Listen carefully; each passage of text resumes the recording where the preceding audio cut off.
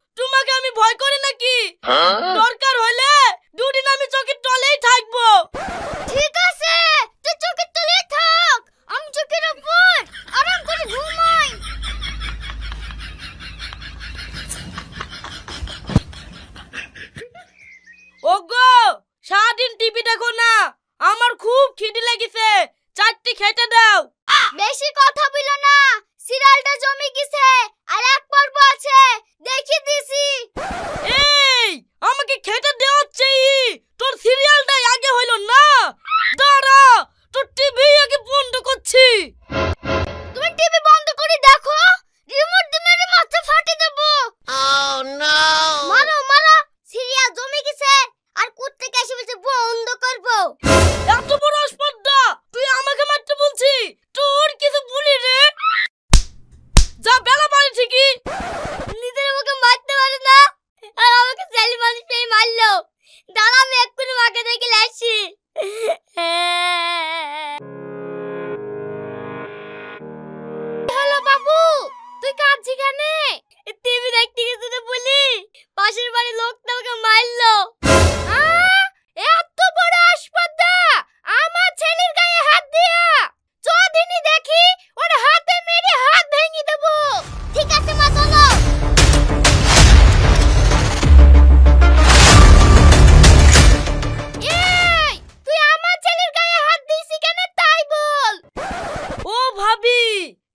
তোমার ছেলে?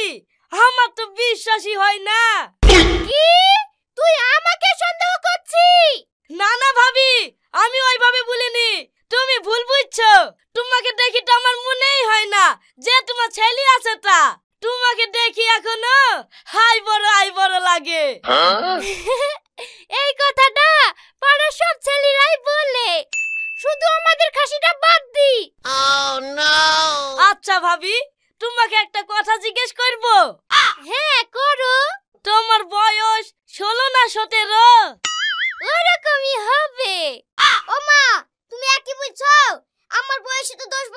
啊？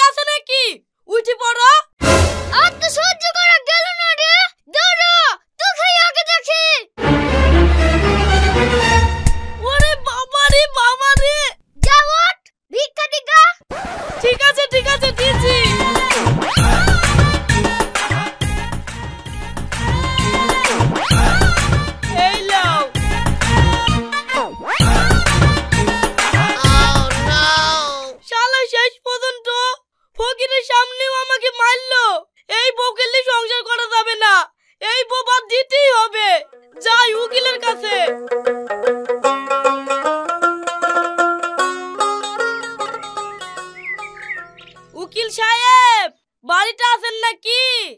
কি হলো? এই তো আমি এখানে। দেখতে পাচ্ছ না? উকিল সাহেব, আমি একটা কাজের জন্য এসেছি। তো এত সকাল সকাল আসে কেন?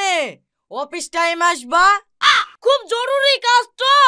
তাই একটু সকাল সকালই আসনু। ঠিক আছে যা বলবা তাড়াতাড়ি বলো। আমার হাতে অনেক কাজ। উকিল সাহেব আমি আমার বউকে বাদ দেব। কেন? আমার বউ আমাকে খুব হুকুম করে আর না শুনলেই মারে। কি গো? এখনও থালহাড়ি মাজা হয়নি যে? কাপড় কখন কাচবা?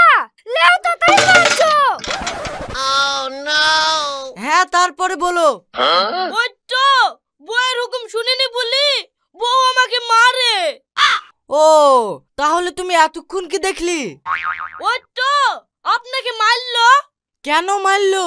থাল মাছতে দেরি হয়েছে বলি? আমার থাল মাছতে দেরি হয়েছে বলি।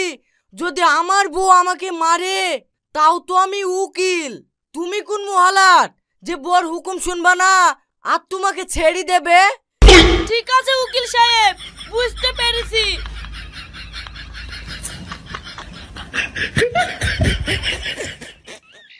বউকে আর কিছু ভুলা যাবে না রে। এখন মেয়েদের আইন।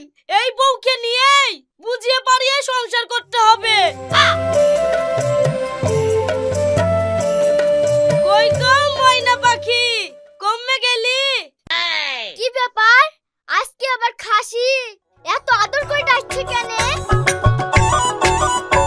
কি হইল একটু পাশে বসো। তোমার সাথে দুটো কথা আছে। আচ্ছা তুমি আমার সঙ্গে ঝামেলা করো কেন গো? ওই দেখো পাশের বাড়ি ওরা, কত আনন্দেই থাকে। সারাদিন ধরে দুই স্বামী স্ত্রীতে হাসাহাসি করে। শুনি আমার কত ভালো লাগে। তুমি আর আমি ঝামেলা না করি, ওইভাবে থাকতে পারিনি।